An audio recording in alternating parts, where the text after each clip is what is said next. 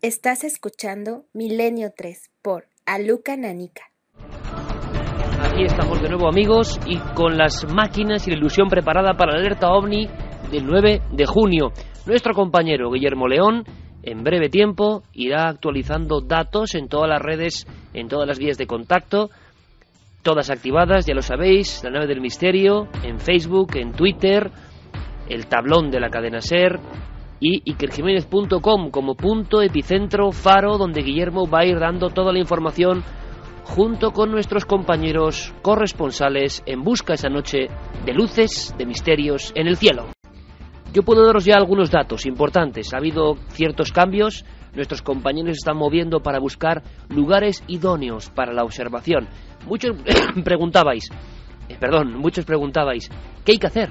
Bueno, eh, hay una forma en la que podéis escribirnos para decir simplemente en qué lugar vais a estar, en qué lugar vais a vigilar el cielo. Al mismo tiempo, sencillamente, podéis tener acceso a estos lugares que vamos a enumerar, donde compañeros nuestros, a veces con unidades móviles de la SER, donde se permita la señal, estarán vigilando los cielos. Simplemente es eso, mirar los cielos, con telescopio, con prismáticos, a viva sensación de la mirada, sin otro aditamento, estar con vuestro receptor de radio, siguiendo la programación de Milenio 3 esa noche tan especial.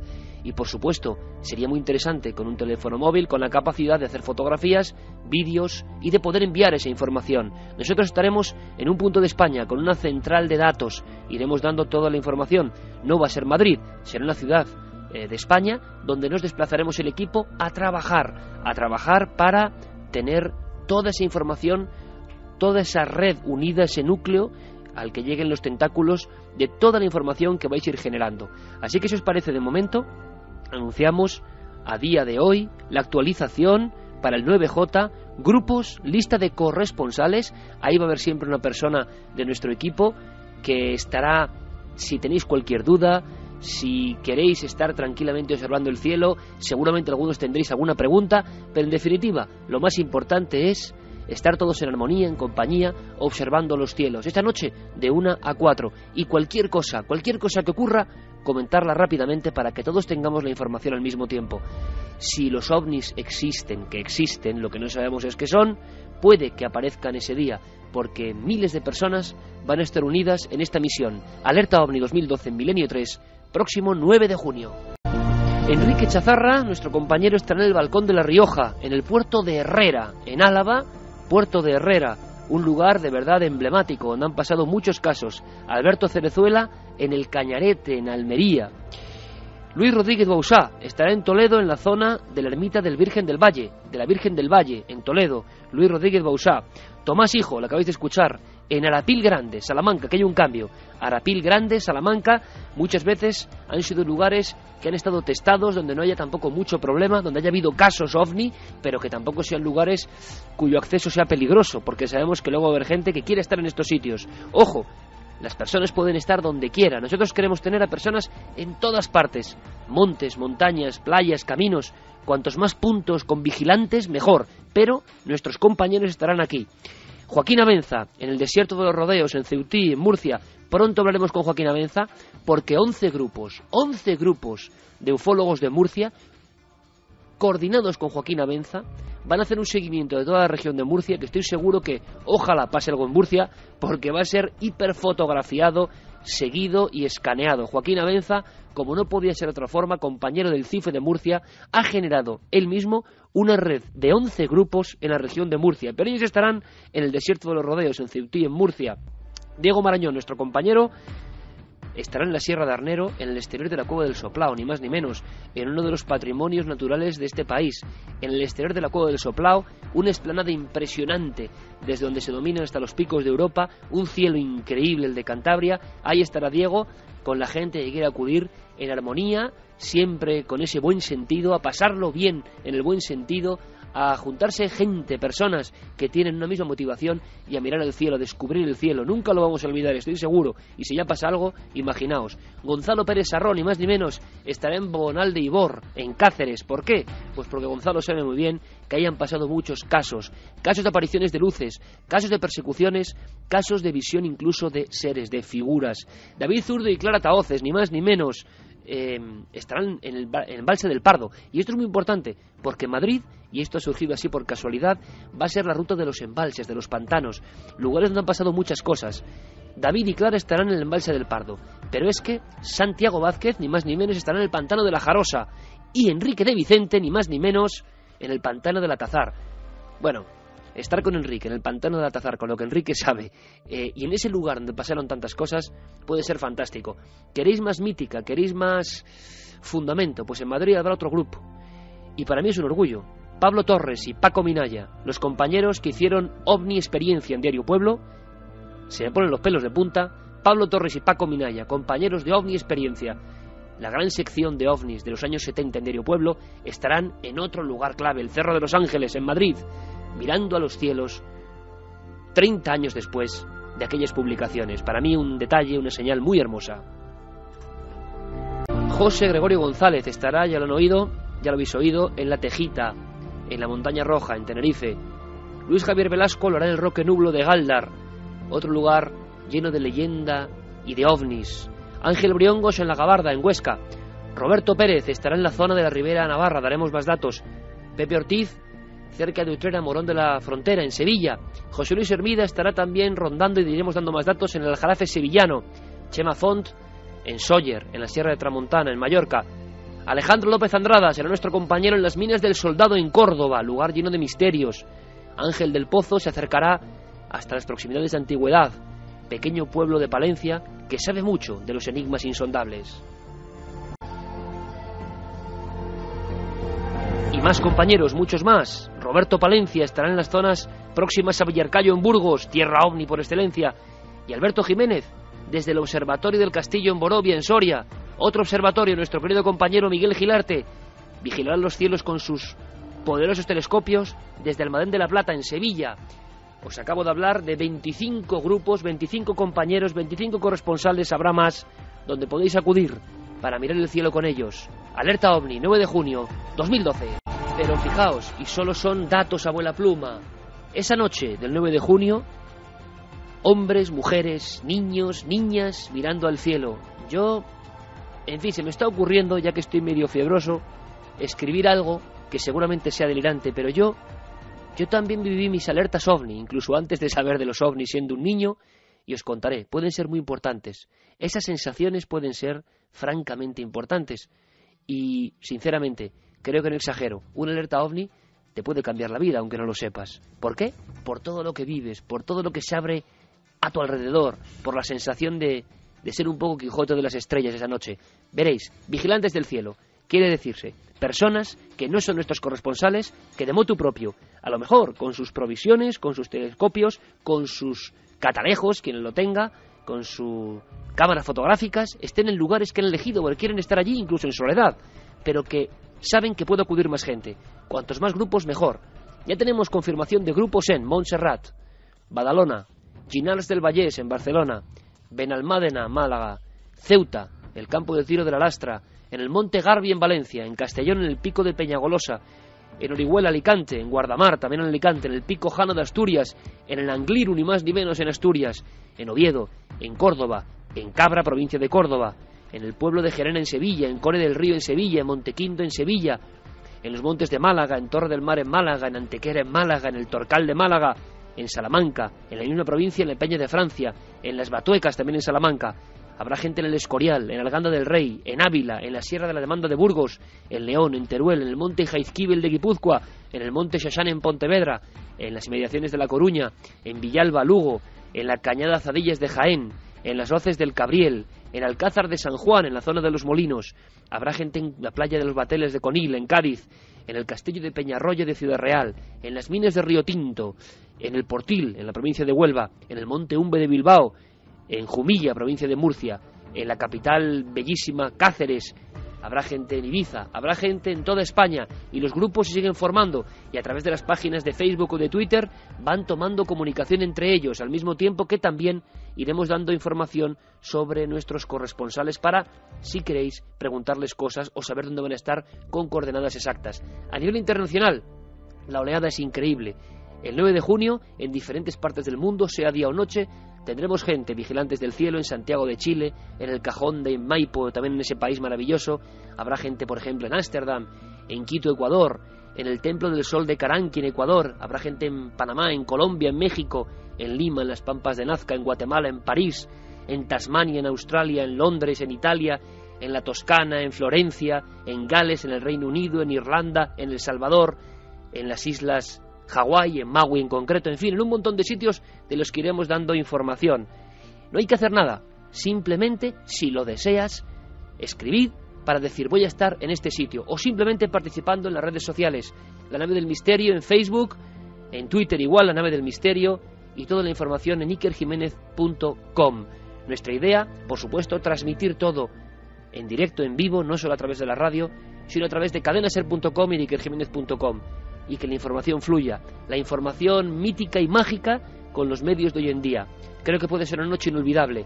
No es que las luces sean lo de menos, porque queremos descubrirlas, pero yo creo que va a ser una experiencia que estará ahí para toda la vida. Vamos a mirar al cielo todos juntos. Vamos a hacer algo extraordinario porque no es nada ordinario, no tiene nada que ver con lo que hace todo el mundo. Es algo contracorriente. Y eso ya es una señal. Señal de que uno está vivo, ¿verdad? Alerta OVNI 2012. Puede que irrepetible puede que única. Os esperamos, 9 de junio.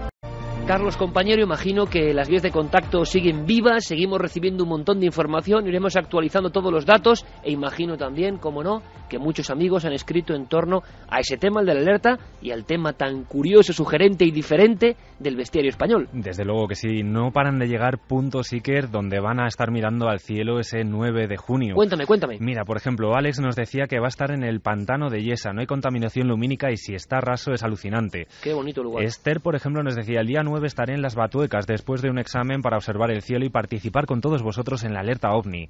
Lina también nos escribía y decía, buenas madrugadas amigos, soy Lina de Zaragoza, estaré muy pendiente de nuestro cielo. Yo hace 31 años los avisté y con testigos en la noche y a plena luz del día. Un saludo. Eugenio, por fin alerta OVNI, este año vigilaré con mi familia desde la Sierra de Madrid. Gustavo Campo, hola, me llamo Gustavo, soy de Monpox, Colombia, pero vivo en Bogotá, estaré vigilando el cielo para reportar. Rebeca, yo formaré parte del avistamiento de los cielos de Madrid, embalse del Pardo. David de Frías, primera opción para alerta OVNI 2012, La Muela en la Larilla, Guadalajara.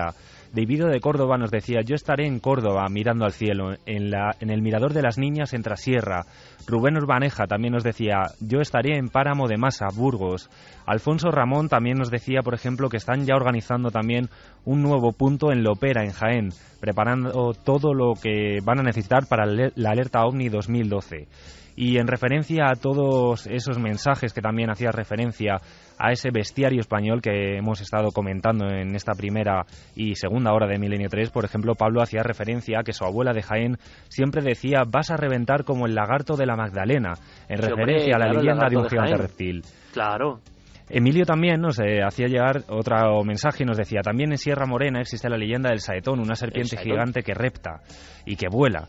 Miriam Rodríguez nos decía, buenas noches a todos, mi pueblo es Ciudad Rodrigo, muy cerca de la Peña de Francia, y por mi abuela sé que uno de los animales más peligrosos de la zona es el bastardo, sobre el cual corren historias en las que este animal siempre ataca y devora a las personas. Claro, porque era la serpiente más grande de la fauna española, y eso generó un sinfín de leyendas, pero fíjate, Carlos, el tema del saetón, que es curiosísimo, reptil volador, parece ser, los estudios, y además tienen algo de realidad, es porque en esa zona concreta de Sierra Morena, em, eh, las víboras se quedaban en ocasiones en ramas invisibles y caían para picar a personas en el cuello, a jinetes, desde las ramas, y empezó a generarse una leyenda de una serpiente que volaba y que mataba.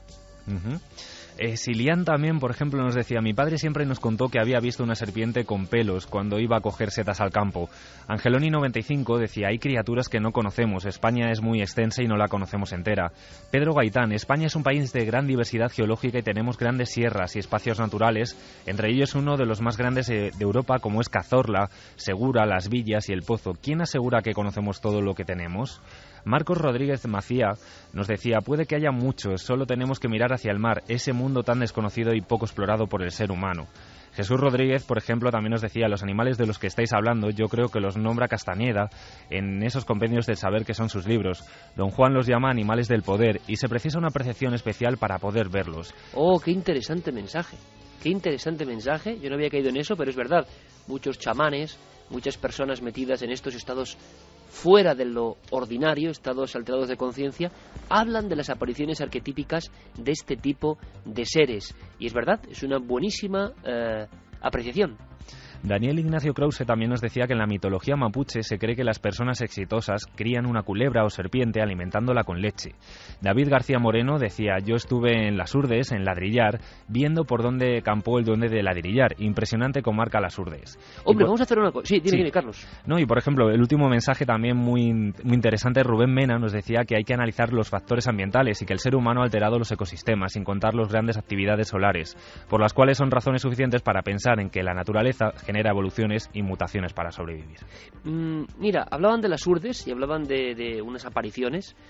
Y para que veamos, y además es un tema que está entre dos mundos, el de la criptozoología o la aparición de seres extraños y casi el alerta en 2012. Y es que los testimonios nos siguen llegando, no solo de luces, sino de cosas mucho más dramáticas.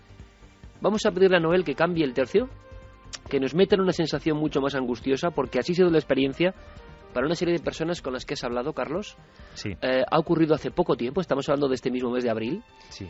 Y fíjate, a mí me inquieta y me parece emocionante y vamos a estar muy atentos a todas las noticias que tengan que ver con el fenómeno ovni. Si es que esto tiene que ver con el fenómeno ovni, igual no tiene nada que ver.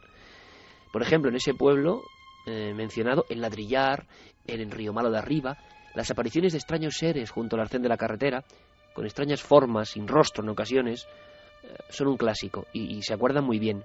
Ahora, lo raro es que siga habiendo casos. Y cuidado, Carlos, que tú lo sabes bien, que hemos tenido ya un puñado de casos del Monte Avantos hasta Cádiz y estaríamos ante otra aparición de humanoide y hace muchos años que no pasa algo así. Y en fin, a ver si en diez minutos eres capaz de contarme esta historia, Carlos. Todo tuyo acaba de ocurrir. Pues sí que, sí que es cierto lo que decías. Esta historia está a medio camino del avistamiento ufológico propiamente dicho y también de esas apariciones que ya hemos hablado en esta temporada en Milenio 3 eh, de seres que, eh, que tienen lugar en carreteras. Esta historia comienza el viernes 6 de abril de este mismo año, la pasada Semana Santa, alrededor de las 11 de la noche. Era una noche muy cerrada, muy oscura, tal y como nos narraban algunos de los testimonios con los que hemos podido hablar. Y vamos a situarnos en la carretera C524. Es una carretera que une las localidades de Trujillo y Torrejón el Rubio, en Cáceres. Pues allí eh, estaban dos matrimonios, dos matrimonios de amigos con sus hijos, dos familias que estaban viajando para descansar en una zona muy cercana al Parque Natural de Monfragüe. Allí tienen una finca, un matrimonio de ellos, y bueno, pues se disponían allí a, pasar sus vacaciones. Con tan mala suerte, bueno, todos lo sabemos que no hizo tan buen tiempo como se esperaba y decidieron volver de noche a su localidad, a Mérida. Eh, viajaban por esta carretera cuando en esa hora concreta, alrededor de las 11 de la noche, empiezan a vislumbrar algo en el horizonte. Una especie de silueta muy, muy brillante que llamó muy pronto su atención. Cada vez esa figura, esa silueta se fue haciendo más grande. Iban en dos coches, uno detrás de otro, y el primer coche pues eh, empiezan a acercarse a ese punto que les llamó tanto la atención. Era una figura muy extraña, muy grande, de gran altura, de unos dos metros de altura, que estaba paseando, digamos, o andando en el arcén. Más bien flotando, porque tal y como lo describen, no, tenían, no tenía pies esa figura. Era, como decíamos, noche cerrada. Y bueno, pues eh, llama también la atención cómo empieza el miedo a apoderarse de ellos, porque observan rasgos que en un primer momento no se habían fijado tanto los pasajeros del primer coche como del segundo se quedan mirando atentos a ese insólito, ese insólito ser que, les estaba acompañando. Y además, eh, otro dato importante es que ese primer coche que iba tiene que hacer un quiebro, una especie de maniobra para no atropellar a ese ser que estaba en el arcén. Hemos podido hablar con, estos testigos, pero fíjate, Iker, es tanto el miedo que tienen que, que bueno, no hemos podido establecer una grabación con ellos porque preferían olvidar, preferían olvidar esta historia. Sin embargo, sí que hemos podido eh, hablar con Evaristo, es la persona que nos ha hecho llegar esta historia y es familiar de Cristina y de José, dos de las personas que iban en el segundo coche y que se encontraron con esta extraña figura y que la describen así. Pues parece ser una figura de gran estatura, según me contaba, sobre dos metros, dos metros y medio, eh, parece que tiene como un pelo largo eh, unas vestiduras tipo celeste que, que, que resplandecen mucho en la oscuridad. Parece ser que en el pecho se ve como una especie eh, de, de rombo o una especie de número de rombo y sobre todo eh, como que no tenía pies, como que parece levitar sobre el suelo, ¿no? Madre mía, Carlos, es eh, una descripción idéntica, te diría. Sí. Alguna que yo he recogido, por ejemplo, en pleno puerto de Alisas, en Cantabria, una especie de figura. Eh, me ha recordado exactamente lo mismo y además que parece mirar, no mirar exactamente, vigilar a, a estas personas. Lo increíble de este caso, y tú has podido hablar con los testigos, es decir, existen, tenemos los datos, Sí. entendemos perfectamente su temor y el familiar directo, muy directo de ellos es el que nos lo cuenta, pero luego ellos tienen mucho miedo, pero que esto le da elemento genuino al caso. Pero es que son dos coches y, y dos familias quien, quienes ven al mismo ser. Dos familias y además que, tal y como nos contaba Evaristo, y luego le, lo escucharemos también, son familias serias, eh, gente normal y corriente. Hablamos incluso de gente que se dedica al ámbito sanitario, que son totalmente escépticos, o Puf. eran hasta este mismo momento, y que se han encontrado con esta sorpresa. Y precisamente por eso acuden a Evaristo. Evaristo es eh, asiduo a escuchar nuestro programa y gracias a él hemos podido conocer esta historia. Pero fíjate, otro de, de los elementos de, este, de esta historia que llama mucho la atención. Como decíamos, ese primer coche, ese coche de avanzadilla, se encuentra de cara a este ser y tiene que hacer ese quiebro, esa maniobra para no atropellarle. Se pensaban que iban a, directos a atropellarle. Desde el segundo coche estaba, como decíamos, José y Cristina, que son los familiares de Baristo, y que cuando pasan por el punto exacto donde está esta figura, pues a Cristina le llama mm, la curiosidad, quiere saber más, quiere saber qué, qué, rasgos tiene ese ser. Y sin embargo, eh, lo que se encuentra es de nuevo el auténtico pánico en su piel. Eh, sigue el coche avanzando y, y todavía para más sorpresa ven que la, esa cara de esa, de esa figura gira a la misma vez que ella va mirándole como si los dos quisieran intercalar sus miradas, ¿no? De forma de que, bueno, va viendo que, que no hay rasgos faciales, ¿no? En ese, en ese rostro y que emite como una especie de, de transparencia y a la vez profundidad, ¿no? Lo cual, bueno, le produce bastante, bastante miedo, lógicamente. Una descripción muy detallada de la nada, o sea, no hay rasgos. Nada Otro de de los grandes clásicos de este tipo de apariciones. El ser está como flotando a un lado de la carretera entre Torrejón el Rubio y, y Cáceres, si no me equivoco. Sí. Eh, Carlos. Entre Trujillo y Torrejón Perdón, el Rubio, exacto. en Cáceres, efectivamente, en la carretera C524. Sí, sí, sí, eh, conocemos bien esa zona, Trujillo y Torrejón el Rubio. El ser está ahí, tiene esa especie de traje o de elemento que resplandece y, y no tiene cara. Sí, además Cristina, cuando yo he tenido, como decíamos, la ocasión de poder hablar unos minutos con ella, muy brevemente, porque como te digo, están bastante afectados, de- describía esa vestimenta como una vestimenta normal, como una especie de chándal celeste, con pantalones, pero al mismo tiempo lo recordaba como una especie de, de mono, o sea, una Sí, sí, especie de, también, claro. de ropa que, que era Muy muy, luminiscente, efectivamente, muy entallada. Y fíjate hasta qué nivel eh, llega el miedo a apoderarse de, la, de las dos familias que durante días han estado sin dormir. Incluso había un joven de 16 años que, que bueno, pues como comentaba Evaristo, eh, a esa edad ya se puede, digamos, dar cuenta de lo que está viendo y que lo ha estado pasando bastante mal. Si quieres, vamos a escuchar el último corte en el que. Evaristo nos, nos dice cómo han reaccionado en estos días. Pues se encuentra muy impactado y, y la verdad que bastante, eh, una atrevería a decir, angustiado. Han pasado, bueno, días sin dormir. Cuando le hablas del tema se nota nerviosismo, pero mm, son conscientes que lo que han vivido, eh, como él me decía, era algo que no era humano y ese es lógicamente el gran miedo que, que les invadió y que todavía bueno, les tiene preocupados porque no encuentran una explicación racional a, a esa evidencia.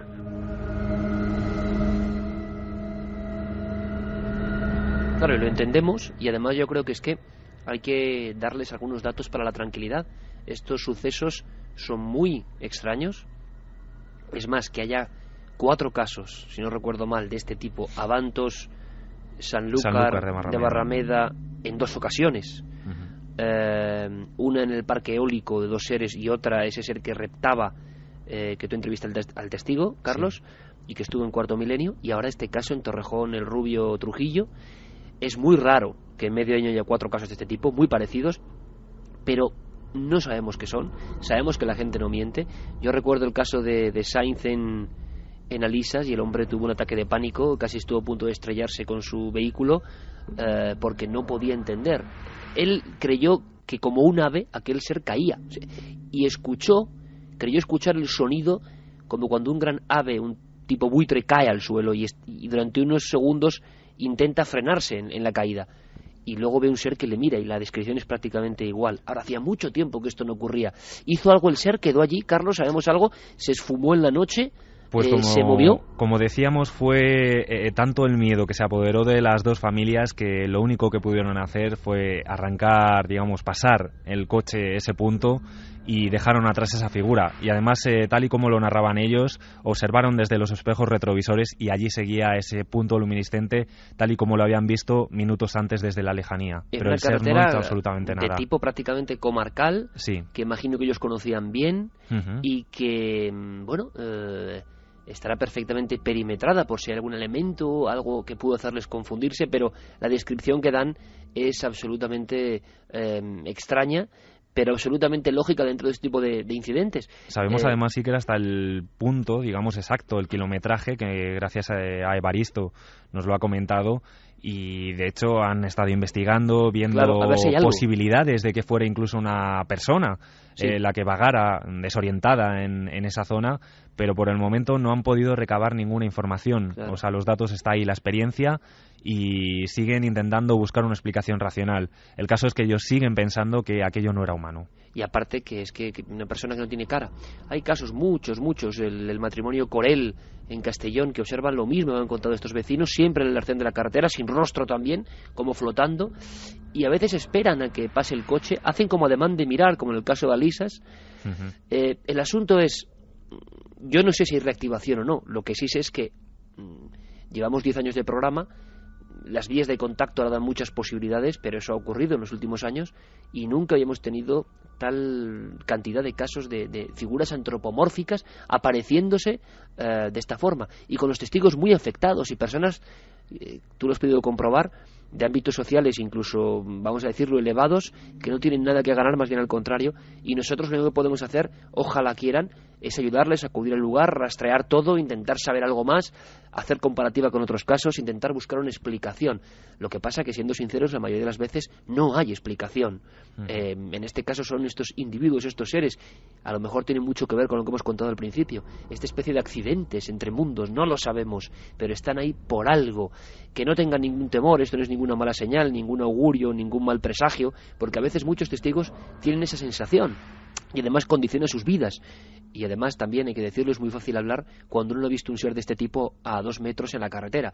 Hasta el punto, y esto es increíble, Carlos, que casi eh, creen que lo atropellan. Y dos vehículos y todos los integrantes viéndolo a la vez. Hay Y muy pocos casos así, ¿eh? Muy pocos coinciden en la casos. misma descripción, además, Siker, que es lo, otra de las cosas que llama la atención. Las cuatro personas adultas que viajaban en esos dos coches se llamaron posteriormente por el móvil porque era la única forma que, que en ese momento les, les salió, digamos. O sea, no querían salir del coche, se llamaron al- a los móviles y las descripciones que las cuatro personas hicieron eran exactamente idénticas, además de la de ese, de ese chico de 16 años que observó también por primera vez a esta, a esta figura. Pues sería muy interesante incluso que el 9J, y lo conseguiremos, esté alguien allí.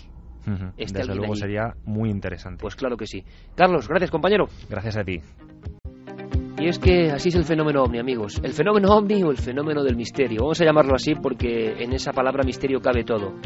Desde el macho lanú resplandeciente, desde la figura de un dragón mitológico que nadie comprende y que de repente demoniza a un pueblo entero, el absurdo, lo inconcebible, lo ilógico, que a veces le da por presentarle.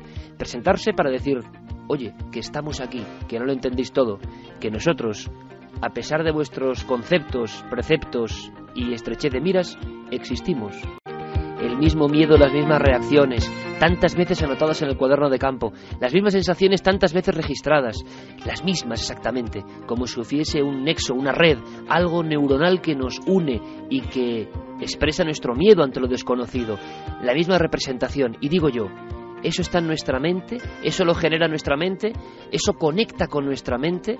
Hay quien dice que nuestra mente puede, como si fuese un wifi de lo extraño, a veces tocar áreas que no son convencionales. Estos seres son esos emisarios, estos seres llevan desde siempre con nosotros, son los ángeles o demonios de otras religiones y tiempos, están aquí para decirnos algo.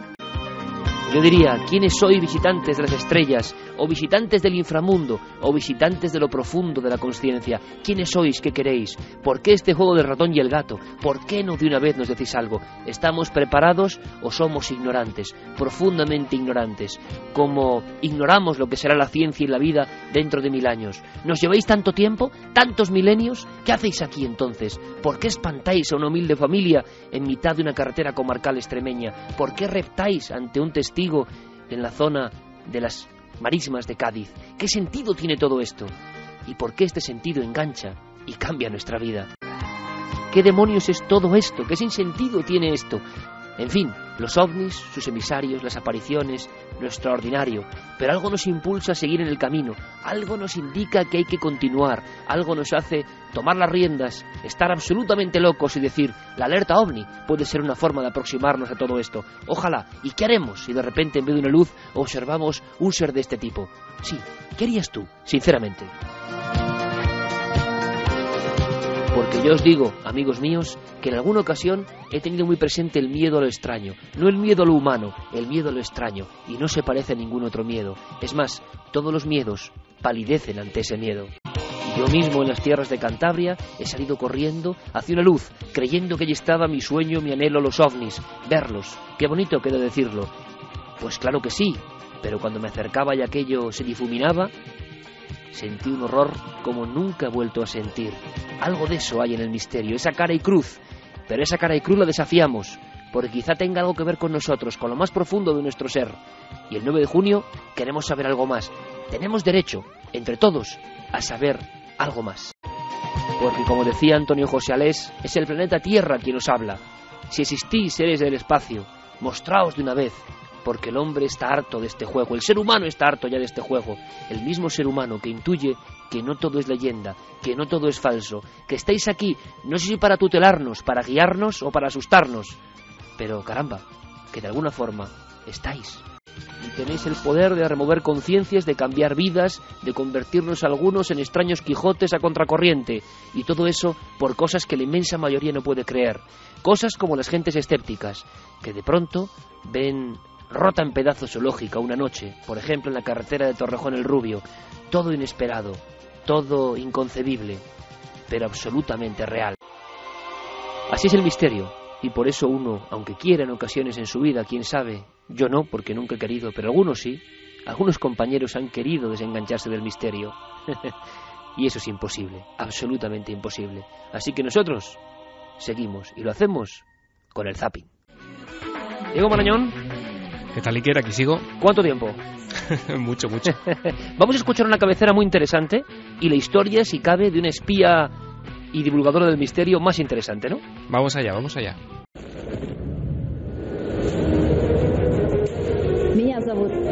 Soy Anna Chapman y les mostraré los misterios del mundo.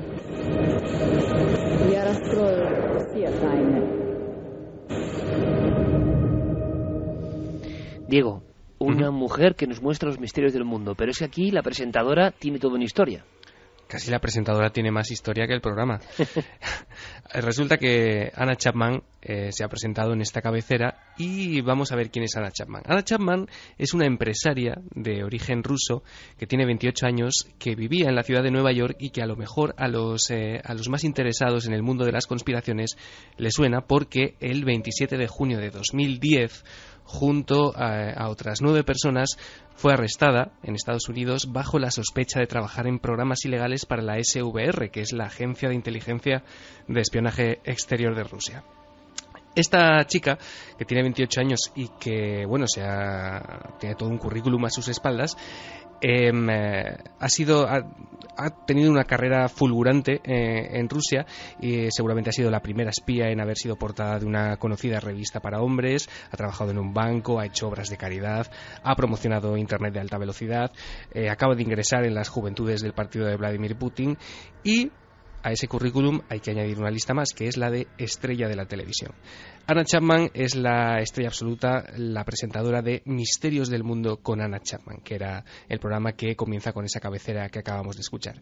Si te parece, para entender un poco quién es eh, esta chica, podemos escuchar eh, la crónica que algunos medios de comunicación difundieron con motivo del estreno del programa Iker. Vamos allá.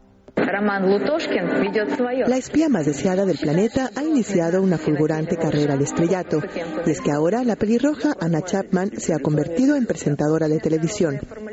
En su debut, la antigua agente de los servicios secretos rusos ha prometido desvelar todos los misterios en un programa en el que se desentrañan fenómenos extraños. La primera entrega se ha dedicado a los estigmáticos, personas cuyos cuerpos presentan marcas producidas por voluntad divina y en concreto a Ali. Este niño de Dagestán, en cuyo cuerpo aparecían versos del Corán por las noches, se hizo famoso en 2009. Ahora apenas aparece en público. Chapman lució en su primera incursión en la pantalla un ajustado vestido de noche rojo y negro, pero también se la pudo ver con un velo musulmán para presentar el caso de Ali. Quizás reminiscencias de sus tiempos de espía. Chapman, nacida en el seno de una familia de diplomáticos, saltó a la fama en julio de 2010 cuando fue deportada de los Estados Unidos junto a otros 10 espías. Su carrera televisiva no ha hecho nada más que empezar y ya se habla de que podría presentar un programa de deportes. Todo un futuro catódico para la espía que surgió del frío. Bueno, y está el currículum, ni más ni menos. Esto es como, no sé, Santiago Camacho, pero en mujer, ¿no? Espía, conspiración y misterio unidos. Y desde luego eh, parece con enorme éxito. En la BBC hubo una entrevista que, levantó muchas polémicas en su día, ¿no? Sí, levantó muchas polémicas porque Anna Chapman es una persona que no le gusta nada hablar de, ese pasado de supuesto, de supuesto agente secreto.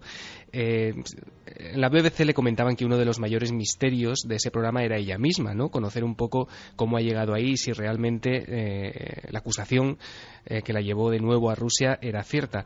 Ella va a saber que se defiende bastante bien, Iker. Esto que vamos a escuchar, como decías, es una entrevista que le hacían en la BBC con el estreno también del programa. Teniendo en cuenta que el título de su programa es Misterios del Mundo, ¿ha pensado en dedicar uno de los capítulos a los secretos de Anna Chapman, a los secretos de su propia vida como agente secreto? Absolutamente no. Podría ser bastante interesante para la audiencia. Bueno, sin comentarios. Es bastante raro para un ex agente secreto convertirse en una estrella de televisión. ¿Quién le ha dicho que yo fui agente? Entonces, ¿niega haber sido agente secreto? Como ya he dicho antes en numerosas ocasiones, nunca negaré o afirmaré ese hecho.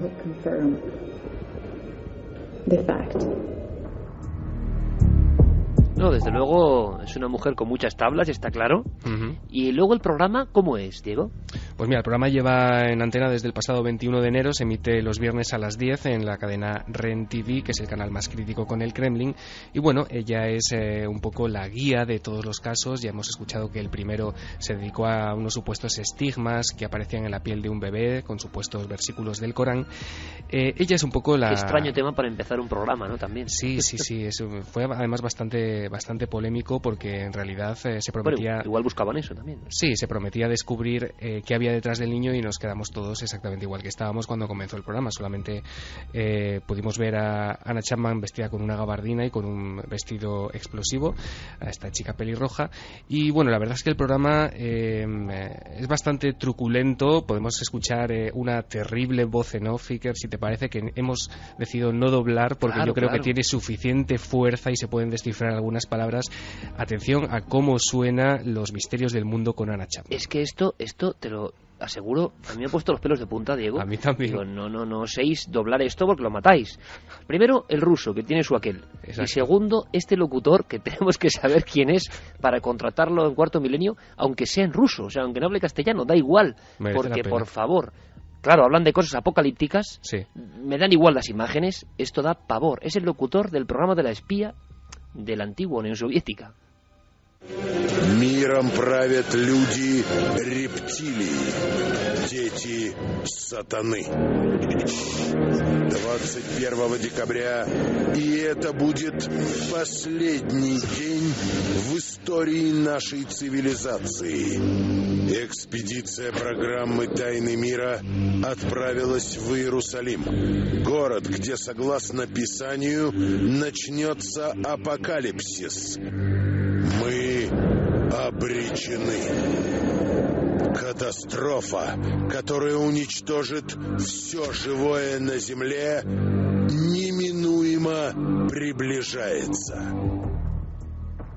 Desde luego, queda claro, Diego, el ruso es el, el idioma del misterio. El que da más miedo del mundo. Bueno, más que del misterio del terror. Catastrofa, Sí. satane. Ajá. O sea, hay una serie de códigos ahí que ponen la carne de gallina. apocalipsis, entiendo. Acongoja, por no decir otra cosa, sí, apocalipsis, y por, porque no hemos dejado seguir. Así son los programas. Eh, luego dicen que nosotros, igual que somos un poco, que damos demasiado miedo. Eh, me decían unos oyentes hace unos días directamente en la calle, hombre, no, no metáis tanto tema de miedo eh, por el tema de Valencia que hizo Javier Pérez Campos. Digo, no, hombre, no, si, si no pasa nada, si nosotros comparados, por ejemplo, con algunos programas internacionales, Sí, sí. somos absolutamente blancos. Que pongan Madre Ren mía. Y los misterios del mundo. Ren. TV. Eh, pero bueno, sobre todo lo importante es cómo eh, en Rusia también, gran éxito, y sobre todo con ese elemento de la presentadora. Sí, Vamos ahora es con... que, Sí, dime, Diego. Iker, no, no, sim- simplemente decirte que es que Rusia además es un país que está plagado de programas de misterio, sobre todo centrados en, como lo voy a ser de otro modo, en conspiraciones. Simplemente Claro, deja el... que les gusta mucho.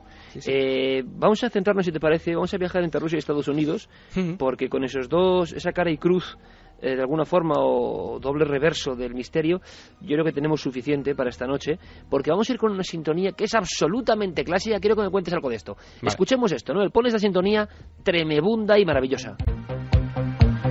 Tengo que decir, Diego, que cuando escuchaba esta sintonía que tú me enviabas y la escuchaba esta misma tarde, Mm. a pesar de la fiebre, eh, del dolor de garganta, de cómo me encuentro, pues mira, eh, me he venido arriba, ¿eh? me he venido arriba porque hay músicas que no pierden nada y que significan misterio. Juraría que esta venía en una de las primeras recopilaciones de los años 90 de sintetizadores y que yo junto a Lorenzo Fernández ponía en mi primer programa eh, en la otra dimensión, en Torres de la Alameda en Madrid. Os estoy hablando de hace 21 años y una de las sintonías era esta, que es maravillosa. La Sí. escuchamos.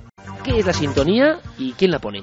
Pues la sintonía es del gran Giorgio Moroder, pertenece a la película El Expreso de Medianoche y se adoptó como sintonía del programa eh, clave de la piedra angular de los programas de misterio eh, a nivel de radio en Estados Unidos, que es, y seguro que a muchos les suena, Coast to Coast, de Art Bell.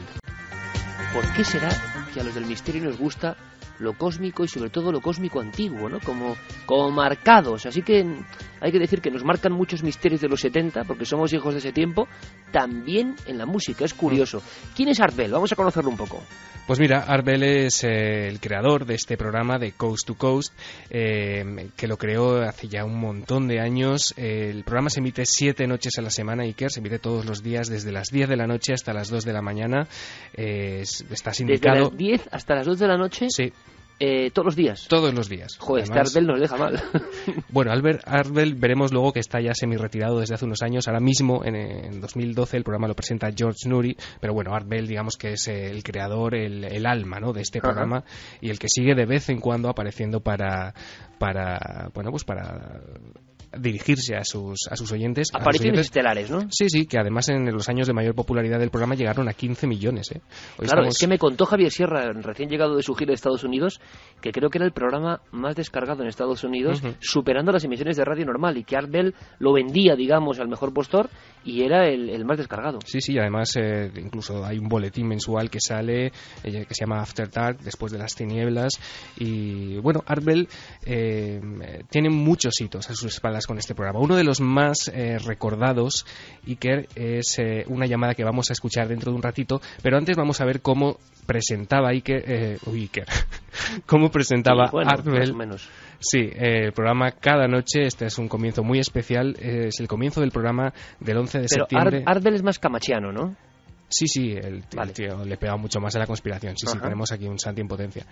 Eh, vamos a escuchar una entrada típica y tópica de, de Coast to Coast con los saludos de Arbel el 11 de septiembre de 2001. Iker.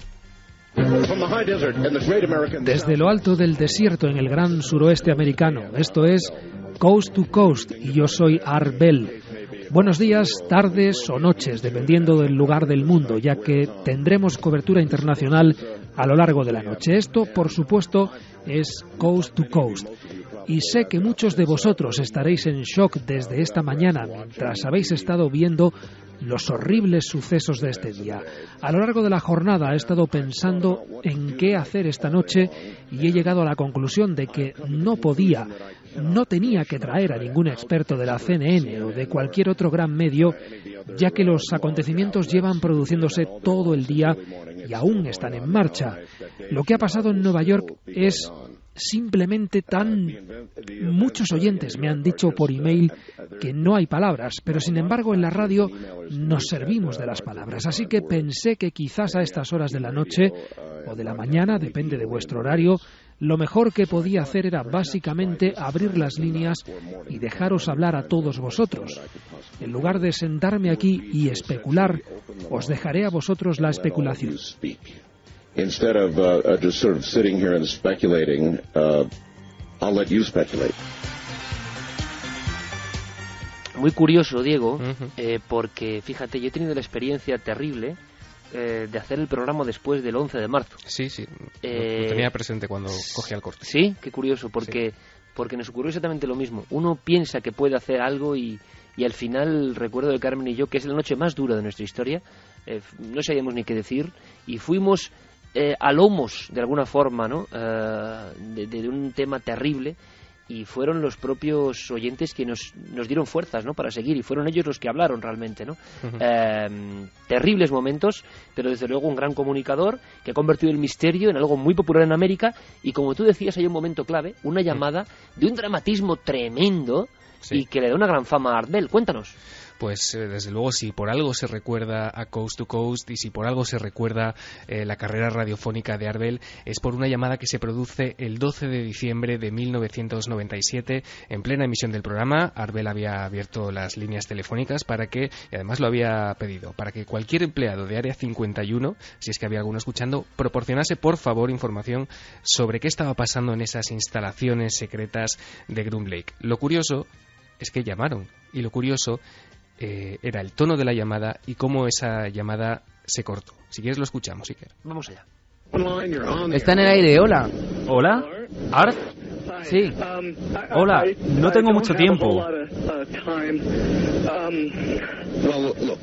Bueno, mira, vamos a empezar por averiguar si está usando esta línea adecuadamente o no. ¿Dónde está usted ahora? Soy un ex empleado y me permitieron ir a una revisión médica hace alrededor de una semana. Y, y, y he estado huyendo por todo el país. No sé por dónde empezar. Ellos van a triangular. Triangularán muy pronto esta posición.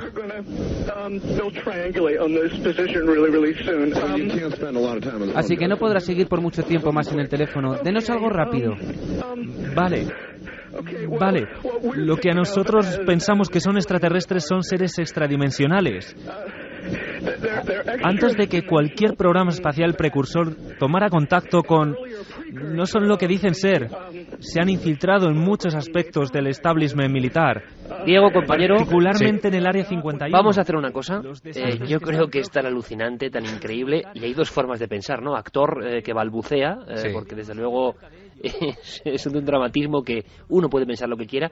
Estoy tan intrigado y me parece tan alucinante que siguiente zapping y urgente, yo creo, ¿eh? Vale. Eh, sobre hitos, ¿no? De Art Bell. Venga. ¿Qué te parece, Me apunto, amigo? me apunto, acepto A bocajarro. Cojo el Oye, Cuevo del Soplao. Sí, Cueva del Soplao, un lugar eh, absolutamente espectacular, Iker, em, eh, en plena Sierra de Arnero, con unas vistas impresionantes, con una panorámica sobre Peñas Sagras, sobre los picos de Europa y, por supuesto, con ese mar cantábrico de fondo, que yo creo que va a ser una noche para disfrutar el 9J. Qué bien, sabes que me hace una ilusión muy especial que estés con nosotros. Ya un abrazo muy fuerte, compañero. Otro para ti, Iker, un placer. Y es que prácticamente no tenemos tiempo para más. Ha sido un placer.